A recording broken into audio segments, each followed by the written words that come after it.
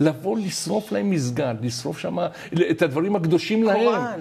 מה אנחנו אחר כך, ואם קורה אחר כך בחוץ לארץ כזה דבר, מה אנחנו יכולים לשמור כל בית כנסת בארץ? כלומר, אתה אומר, האנשים האלה בעצם יש, הם גוזרים, רודפים את כל היהדות, הם גוזרים רדיפה על כל היהדות. אז מה דינם?